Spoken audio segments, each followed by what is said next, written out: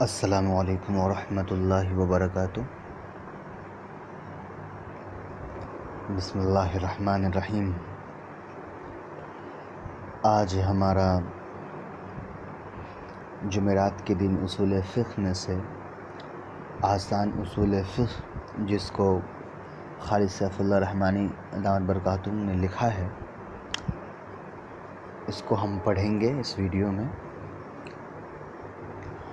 اس video کے شروع کرنے سے پہلے، پڑھائی کو شروع کرنے سے پہلے کچھ چیزیں آپ طلبہ عزیز کو بتا دینا ضروری ہے۔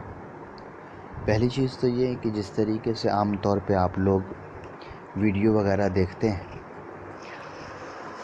اس طریقے سے آپ لوگ اس درسیاتی ویڈیو کو بالکل بھی نہ دیکھیں۔ جیسے کہ عام طور پہ لوگ ٹیک لگا کر یا لیٹ کر کے یہ کھاتے، اٹھتے، بیٹھتے اس ویڈیو کو ویڈیو کو دیکھتے رہتے ہیں۔ اس طریقے سے آپ بالکل بھی ایسا نہ کریں۔ بلکہ جب میں آپ کو پڑھاتا ہوں تو میں یہ تصور کر کے بیٹھتا ہوں کہ میں آپ کے سامنے بیٹھا ہوں، آپ میرے سامنے بیٹھے ہیں اور تب میں آپ کو درس دے رہا ہوں۔ تو بہت ادب کے ساتھ، اہتمام کے ساتھ میں پڑھاتا ہوں۔ تو آپ بھی یہ پوری کوشش کریں کہ جب آپ ویڈیو کو سن رہے ہوں، دیکھ رہے ہوں، تو آپ بھی اسی تصور کے ساتھ بیٹھیں کہ آپ اپنے اساتذہ، اپنے استاد کے پاس بیٹھے ہیں اور اس تصور کے ساتھ، بہت ادب و اہتمام کے ساتھ بیٹھیں۔ دوسری چیز یہ کہ یہ جو کتاب ہے، اس کی ایک الگ کاپی بنا لیں آپ۔ کاپی اور پینسل لے کر آپ بیٹھیں۔ اور درس کے بیچ میں وہ چیزیں جو آپ کو الگ سے بتائی جائیں، اس کو نوٹ کر لیا کریں۔ اور پھر اس کی جو ایک کاپی ہو، اصول فقہ کے نام سے، اس کے اندر وہ ساری چیزیں آپ لکھ لیں۔ تو آج کا درس بہت مختصر ہوگا۔ اس کی وجہ یہ ہے کہ میں آپ کو اصول فقہ جو ہے، وہ کسی خاص کتاب سے نہیں پڑھاؤں گا، بلکہ میں آٹھ، دس، پندرہ، بیس کتابیں اصول فقہ کی پڑھوں گا۔ اور اس کا ایک جو خلاصہ جو ہے، اس کو جس طریقے سے اس کا، اس کی جو مین مین پوائنٹس ہیں، وہ میں آپ کو پڑھاؤں گا۔ ہاں میں اتنا کروں گا کہ آپ کے اپنے مطالعے کے لیے آپ کو دو تین کتابیں میں بتاؤں گا۔ وہ آپ کو ہر دن اس سے دو تین چار صفحے آپ کو پڑھنی ہے اس لیے کہ یہ اردو کی کتابیں ہیں اور اردو کو کتابوں کو حل کرانے کی ضرورت نہیں ہوتی، اس لیے کہ وہ آسانی ہوتی ہے تو چلیے، آج ہم مختصر سا اپنے اس درس کو شروع کرتے ہیں۔ سب سے پہلے یہاں پر لکھا ہے، سب سے اوپر میں اصول فقہ۔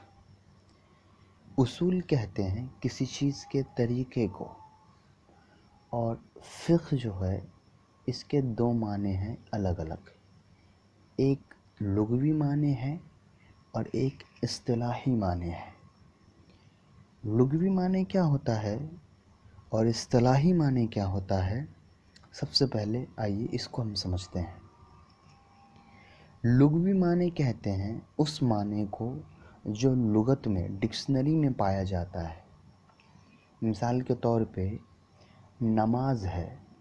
تو نماز کے بارے میں جب آپ ڈکشنری میں نماز کا ٹرانسلیشن دیکھیں گے، لغت میں نماز کا ترجمہ دیکھیں گے، تو وہاں پر لکھا ہوگا دعا مانگنا۔ لیکن جب ہم ایسے آپ کہتے ہیں کہ نماز پڑھی، نماز پڑھ لو تو اس سے ہم کیا سمجھتے ہیں؟ نماز ایک کام ہے، جس میں تکبیر ہے، سجدہ ہے، رکوع ہے، سلام ہے، اس کو ہم نماز کہتے ہیں۔ تو جس چیز کو ہم نماز سمجھتے ہیں، اس کو کہا جاتا ہے اصطلاحی معنی۔ اور اس نما، اور جس، جو معنی لغت میں ہوتا ہے، جیسے دعا مانگنا، اس کو ہم کہتے ہیں لغوی معنی۔ تو یہاں پر فقہ کے جو لغوی معنی ہیں، ڈکشنری میں جو معنی ہیں، وہ ہے سمجھنے کے۔ سمجھداری کے۔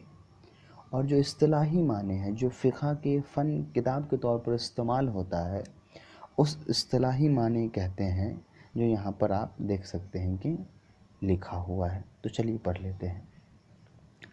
اصول فقہ وہ قواعد ہیں جن کے ذریعے شرعی دلیلوں سے عملی شرعی احکام کے عکس کرنے کا طریقہ معلوم ہو۔ یہ ڈیفینیشن جو ہے، لکھا ہوا ہے۔ اس کو سب سے آسان انداز میں آپ سمجھنے کی کوشش کریے۔ اصول فقہ آپ کو سمجھ میں آ چکا ہے۔ قواعد بھی طریقے کو ہی کہا جاتا ہے، یہ بھی سمجھ میں آ چکا ہے۔ سب سے پہلے آپ سمجھیے یہاں پہ، شرعی دلیل کیا ہوتا ہے؟ دیکھیے شرعی دلیل جو ہوتا ہے، دلیل کہتے ہیں ثبوت کو۔ کسی چیز کو ثابت کرنے کے لیے جو ہم کو ثبوت چاہیے ہوتا ہے، اس کو ہم دلیل کہتے ہیں۔ تو جب ہم کہتے ہیں شرعی دلیل، تو اس کا مطلب ہوتا ہے شریعت کو ثابت کرنے کے لیے جو چیزیں ہم کو چاہیے، اس کو ہم دلیل کہتے ہیں۔ تو شریعت کو کون سی چیزیں ثابت کرتی ہے؟ اسلامی شریعت کو کون سی چیزیں ثابت کرتی ہے؟ ہم قرآن ہے، حدیث ہے، اجماع امت ہے، قیاس ہے۔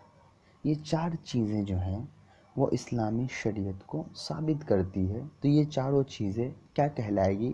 اسلامی شریعت کی دلیل یا پھر شرعی دلیل کہلائے گی؟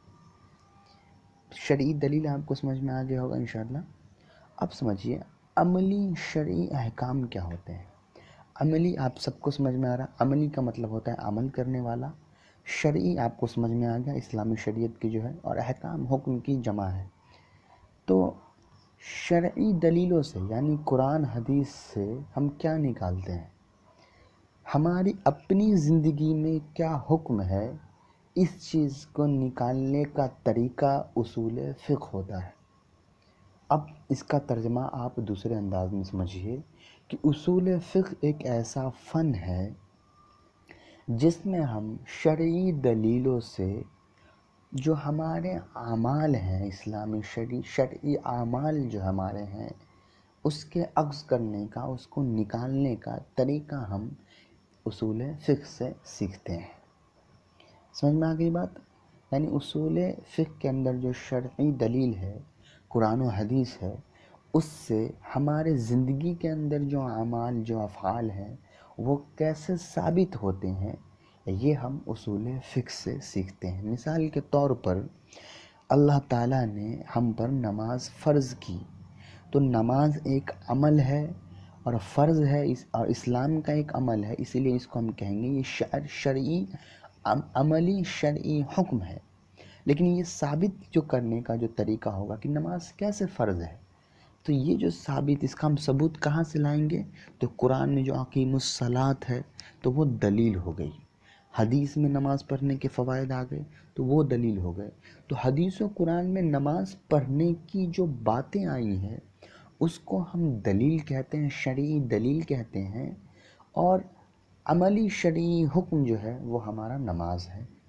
بات سمجھ میں آ گئی یہاں؟ اب آئیے اگلی نیچے۔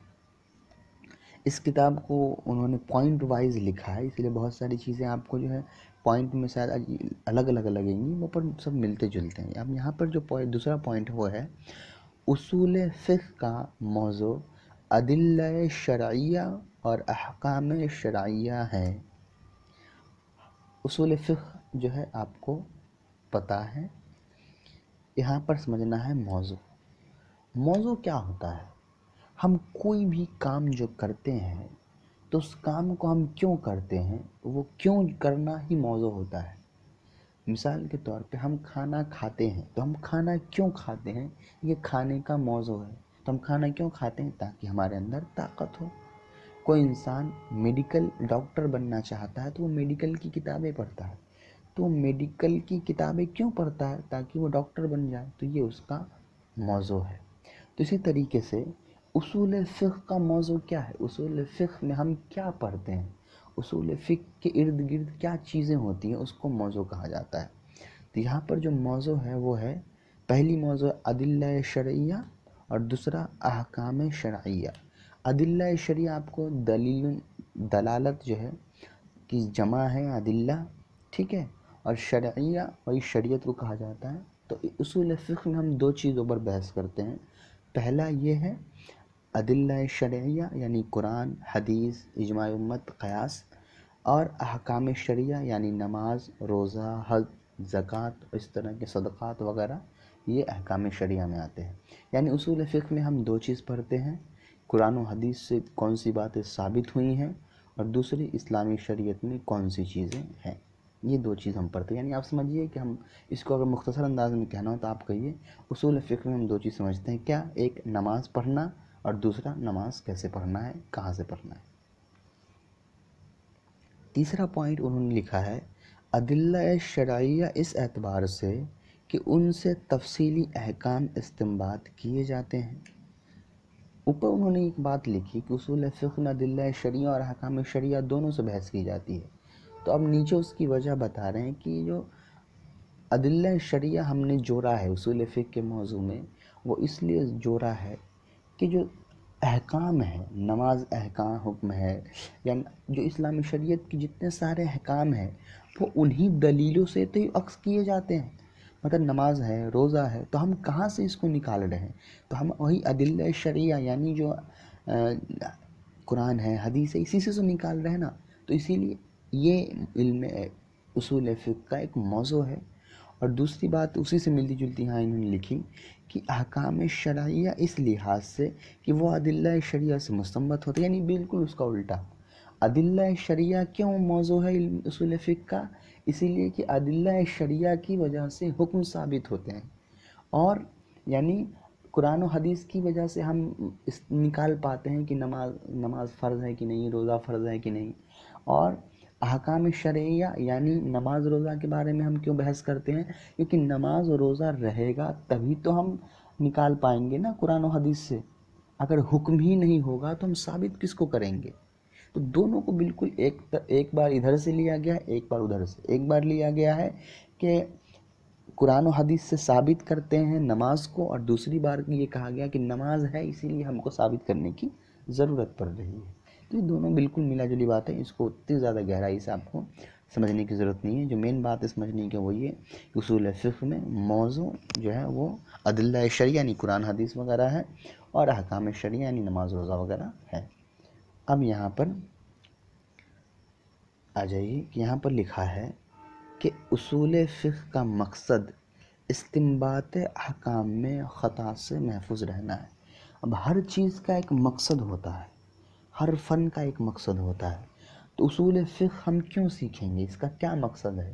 تو اس کا مقصد یہ ہے کہ جب ہم آگے چل کر قرآن و حدیث سے کوئی مسئلے کو نکالیں گے، تو مسئلے کو نکالنے میں کتنی چیزوں کی رعایت کرنی ہے؟ کتنی چیزوں کا علم ہم کو رکھنا ہے؟ وہ ساری چیزیں ہم اصول فقہ سے سیکھتے ہیں۔ مثال کے طور پہ قرآن کریم میں کوئی ایسی آیت ہے جو منسوخ ہے؟ منسوخ کا مطلب ہوتا ہے کہ اللہ تعالیٰ نے اب اس آیت کا حکم امت سے ہٹا لیا ہے۔ تو اگر ہم کو اس آیت کا حکم نہیں معلوم ہے، یا اس آیت سے کیسے مسئلہ نکلتا ہے، یا اس سے کون سا مسئلہ نکلا ہے، وہ ہمیں معلوم نہیں ہے۔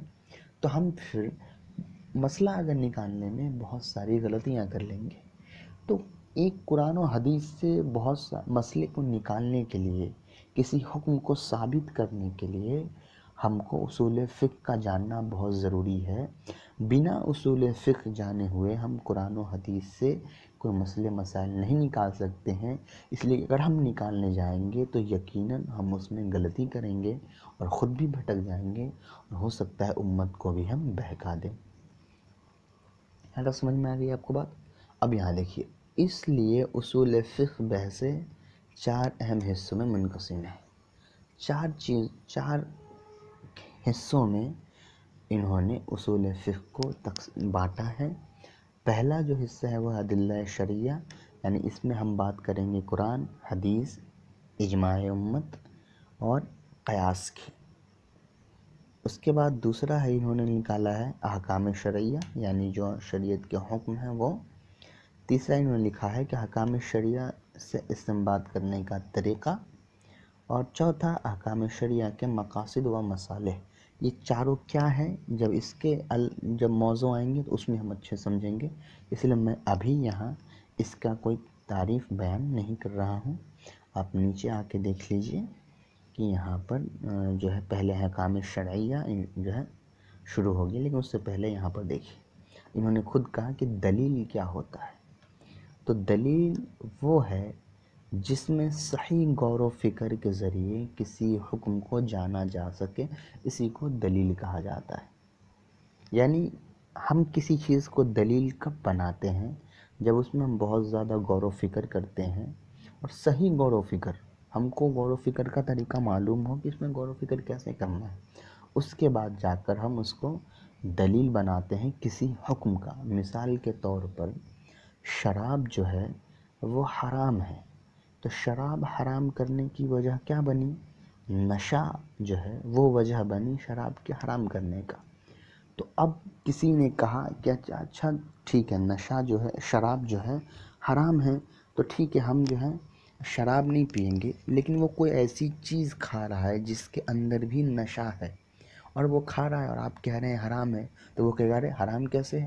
اسلام میں تو شراب حرام ہے، یہ اس لیے ہم شراب تھوڑی نہ پی رہے ہیں۔ تب وہاں پر آپ کیا دلیل دو گے؟ اس کو دلیل دو گے کہ دیکھو، غور و فکر کرنے کے بعد یہ معلوم ہوا کہ اصل میں شراب حرام نہیں کہا گیا تھا، بلکہ ہر وہ نشے نشے والی چیز جو دماغ کو خراب کر دے، وہ حرام ہے۔ تو یہ جو چیز کھا رہے ہو یہ بھی حرام ہے۔ تو یہاں پر وہ شراب والی جو دلیل ہے، وہ دلیل یہاں بن گئی۔ تو اسی کو کہا جاتا ہے کسی چیز دلیل، کہ کسی چیز میں صحیح غور و فکر کرنے کے بعد کسی حکم کو ثابت کر لینا، کسی حکم کو جان لینا۔ اور اب دیکھیے، حکم شرعی کسے کہتے ہیں؟ تو وہ ہے جس سے مکلف کے افعال کی صفت شرعی بیان کی جاتی ہے یعنی فرض، واجب، مستحب، حرام مکرو مباح۔ یہ ساری چیزیں یعنی وہی چیز یعنی ہم جو چیز پڑھتے ہیں، نماز ہے، روزہ ہے، اس میں فرض کیا ہے، مستحب کیا ہے، واجب کیا ہے، حرام کیا ہے مکرو کیا ہے، مباح کیا ہے، یہ ساری چیزیں حکم شرعی کے اندر آتے ہیں۔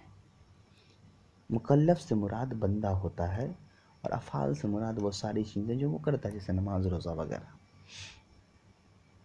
یہاں پر مثال لیا انہوں نے عقیم الصلاط سے بندوں پر نماز کی فرضیت کا حکم ہوا اور حرم الربا بھی پڑھ سکتے ہیں، حرم الربا بھی پڑھ سکتے ہیں، چونکہ مجھے قرآن کی آیت یاد نہیں ہے، لیکن عام طور مجھے لگتا ہے شاید یہاں حرم اللہ الربا ہے، تو یہاں حرم الربا ہوگا۔ آپ دونوں طریقے سے پڑھ سکتے ہیں۔ اگر آپ اس کو معروف بنائیں گے تو حرم الربا، تو وہاں پر فائل جو ہوگا کہ اس نے ربا کو حرام کیا۔ اور اگر آپ پڑھیے گا حرم الربا، تو یہاں پر ربا جو ہے مفول بن جائے گا نائف فائل بن جائے گا۔ تو اس کا مطلب ہوگا کہ ربا کو حرام کیا گیا۔ اسے بندوں کے لیے سود کی حرمت کا حکم معلوم ہو۔ یہ دونوں اس کی مثال ہے۔ حکم شرعی کی مثال ہے۔ ٹھیک ہے۔ اب یہاں پر انہوں نے عدلہ شریعہ کی دو قسموں میں تقسیم کر دی ہے۔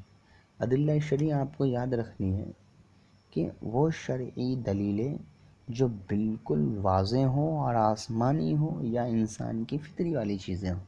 جیسے قرآن ہے، آسمانی ہے، حدیث ہے، آسمانی ہے، اجماع امت یہ انسان کی فطری چیز ہے کہ انسان جو ہے، اجماع امت کا مطلب ہوتا ہے کہ بہت زیادہ تعداد میں لوگ اس بات پر اتفاق رکھتے ہیں، اس کو اجماع کہا جاتا ہے۔ تو ظاہر سی بات ہے، کسی جھوٹی چیزوں پر پوری امت کے اکثریت جو ہے وہ متفق نہیں ہوگی۔ اسی لیے اس کو اجماع کو بھی جو ہے عدلہ شریعہ میں مانا گیا ہے۔ خیر، وہ ہم آگے پڑھیں گے تو آپ یہاں دیکھ لیجیے۔ کہ یہاں پہ انہوں نے لکھا ہے کہ عدلہ شریعہ کی دو قسمیں، متفق علیہ، ایک پہلا متفق علیہ اور دوسرا مختلف فی۔ مختلف فی پڑھیں گے، مختلف فی نہیں پڑھیں گے۔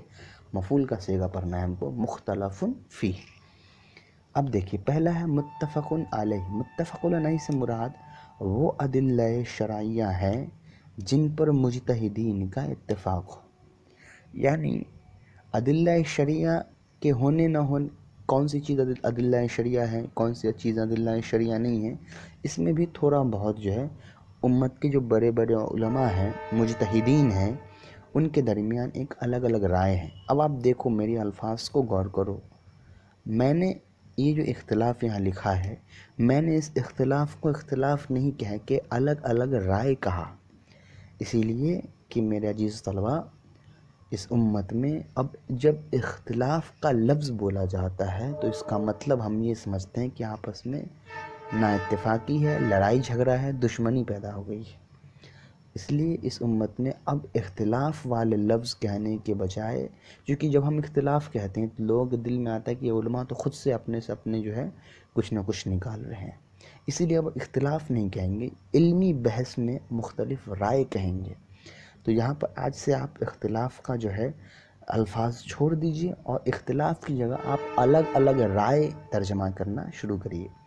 تو علماء جو اصول فقہ بنانے والے جو علماء کرام ہیں ان کی عدلہ شرعی کے شرعی کتنے اور کون کون سی ہیں، ان میں ان کی تھوڑی سی الگ الگ رائے ہے۔ تو جو متفقن علیہ ہے، وہ ایک علماء کی جماعت ہے اور دوسرا مختلف فی جو ہے، وہ دوسرے علماء کی جماعت ہے۔ تو اب ہم دیکھ لیتے ہیں کہ مختلف اب دیکھیے، اب تعریف بھی ایک بار اچھے سے آپ دیکھ لیجیے متفقن علیہ وہ اس سے مراد وہ عدلہ شرعیہ ہیں جن پر مجتہدین کا اتفاق ہے یعنی اس کے اس کے عدلہ شریعہ ہونے نہ ہونے میں کسی کو، کسی کی کوئی دو رائے نہیں ہے، سب متفق ہیں، ایک رائے پر جمع ہے۔ اور مختلف فی سے مراد وہ عدلہ ہیں جن کے حجت ہونے اور نہ ہونے میں، حجت ہونے اور نہ ہونے میں مجتہدین کے درمیان الگ الگ رائے ہیں۔ اب متفق علیہ پہ تو سب کی سب جو ہیں بالکل متفق ہے کہ ہاں یہ ساری چیزیں جو ہیں عدلہ شرعیہ ہیں۔ لیکن مختلف فی میں کچھ ایسی چیزیں ہیں، وہ عدلہ ہیں، وہ دلیلیں ہیں، جن کے بارے میں علماؤں کے درمیان جو ہے الگ الگ رائے قائم ہو گیا۔ کچھ علماؤں نے کہا کہ یہ دلیل بن سکتی ہے، کچھ علماؤں نے کہا کہ یہ دلیل نہیں بن سکتی ہے۔ تو اب آپ دیکھ لیجیے، پہلے یہاں پر انہوں نے لکھا ہے متفق علیہ عدلہ شرعیہ چار ہیں۔ متفق علیہ عدلہ شرعیہ چار ہیں۔ کون کون سے؟ کتاب اللہ یعنی قرآن کریم، سنت رسول یعنی احادیث، اجماع یعنی اجماع امت، قیاس یعنی کہ غور و فکر کر کے کوئی مسئلے پر قرآن و حدیث کی روشنی میں کوئی بات نکالنا۔ اور مختلف فی عدلہ شرعیہ سات ہیں۔ پہلا استحسان، دوسرا مصالح مرسلہ، تیسرا عرف، چوتھا سد ذرائع پانچواں قول صحابی چھٹا شرائع ما قبل اور ساتواں استحباب۔ استصحاب استحباب نہ پڑھے استصحاب استفعال سے، ٹھیک ہے؟ اب یہ ساری چیزیں کیا ہے اس کو ہم بالکل آگے پڑھیں گے۔ یہاں پر دیکھیں، انہوں نے بھی درس کو ختم کر دیا ہے۔ تو آپ سے میں گزارش کروں گا کہ آپ یہ جو سوال ہے، اس سوال کو آپ بنا دیکھے خود سے حل کرنے کی کوشش کریں۔ اگر بنا دیکھے آپ نے ان سارے سوالوں کا جواب کاپی میں لکھ لیے، فیئر کاپی میں لکھنا ہے، اگر آپ نے لکھ لیا تو آپ نے اس درس کو، اس سبق کو بہت اچھے سے سمجھا ہے۔ اگر آپ نے کوئی چیز نہیں سمجھی ہے تو آپ فون کر کے یا میسج کے ذریعے یا یوٹیوب پر بھی آپ ویڈیو میں کمنٹ کر کے چھوڑ سکتے ہیں۔ اس کا جواب انشاءاللہ آپ کو دیا جائے گا۔ ابھی کی ویڈیو میں صرف اتنا ہی، چونکہ یہ اچانک سے مجھے یہ ویڈیو بنانا پڑا اور اس کا انشاءاللہ کل سے جو ہے ہم لوگ اس کے بارے میں اور مزید چیزیں ہم پڑھیں گے۔ کوئی بھی چیزیں سمجھ میں نہیں آئی تو آپ بالکل بے جھجک کسی بھی وقت آپ فون کریے۔ آپ اگر رات کے بارہ بجے مطالعہ کر رہے ہیں، آپ کو رات کے بارہ بجے سمجھ میں نہیں آتا، تو آپ اس وقت فون کریے۔ انشاءاللہ دینی خدمات کے لیے میں ہر وقت ممکن کوشش کروں گا کہ میں آپ کے لیے حاضر رہوں۔ پھر ایک بار اس درس میں آپ نے کیا پڑھا ہے، اس کو بالکل ایک دو منٹ کے اندر آپ جو ہیں اس کو کور کر لے تاکہ آپ جو ہے ایک کی پوائنٹس نکال سکیں کہ اس درس میں ہم نے کیا پڑھا ہے۔ اس درس میں ہم نے پہلے اصول فقہ کی تعریف پڑھی ہے۔ کہ اصول فقہ اس علم کو کہا جاتا ہے جس کے ذریعے سے ہم شرعی دلیل اور عملی شرعی احکام کو سمجھتے ہیں۔ اس کے بعد اصول فقہ کا جو موضوع ہے وہ ہم نے سمجھا کہ اصول فقہ میں کن چیزوں پر بحث ہوتی ہے۔ تو اصول فقہ میں شرعی احکام اور شرعی دلیل سے بحث ہوتی ہے۔ اس کے بعد ہم نے پڑھا کہ اصول فقہ کا مقصد کیا ہے۔ تو اصول فقہ کے سیکھنے کا مقصد یہ ہے کہ احکام کے قرآن و حدیث سے احکام کے نکالنے میں غلطی سے محفوظ رکھنا۔ اس کے بعد اصول فقہ کی کتنی قسم میں اس کتاب میں تقسیم کی گئی ہے، تو انہوں نے کہا کہ چار تک قسموں میں تقسیم کی گئی ہے۔ پہلا عدلہ شریعہ، دوسرا احکام شریعہ، تیسرا احکام شریعہ سے استنباد کرنے کا طریقہ، اور چوتھا احکام شریعہ کے مقاصد و مسالے۔ اس کے بعد ہم نے پڑھا کہ دلیل کسے کہتے ہیں؟ تو ہم نے پڑھا کہ دلیل جو ہے، کسی صحیح، جس کسی بھی چیز میں صحیح غور و فکر کے ذریعے کسی حکم کو جاننے کے، جاننے کو دلیل کہا جاتا ہے اور حکم شرعی اس چیز کو کہتے ہیں جس سے بندے کے افعال کے صفت جو ہے، صفت کی جو شرعی طریقہ ہے، اس کو بیان کی جاتی ہے۔ جیسے فرض کیا ہے، واجب کیا ہے، مستحب، نماز، حرام مکرو وغیرہ کیا ہے؟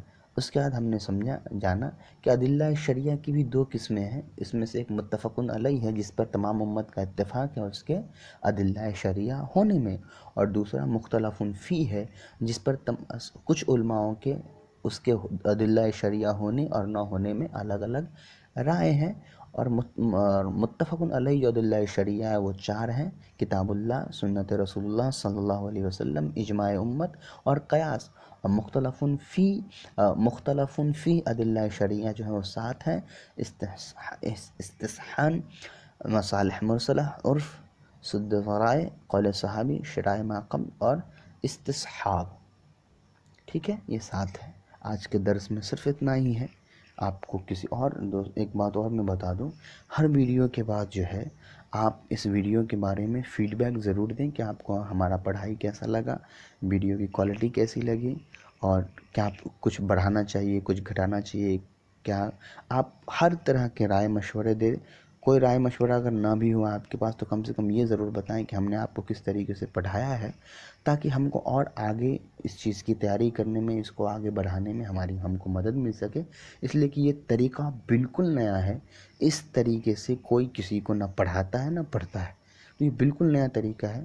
اسی لیے آپ بہت زیادہ سپورٹ کریں اور کبھی کبھی کچھ کوتاہی، کچھ غفلت مجھے طرف سے بھی ہو جائے تو اس کو آپ درگزر فرما دیں۔ تو ابھی کی ویڈیو میں صرف اتنا ہی ہے۔ اللہ تعالی ہم سب کو اللہ اپنے دین کا خادم بنائے اور اخلاص کے ساتھ علم پڑھنے اور پڑھانے والا بنائے۔ جزاکم اللہ خیر واحسن الجزا السلام علیکم ورحمۃ اللہ وبرکاتہ۔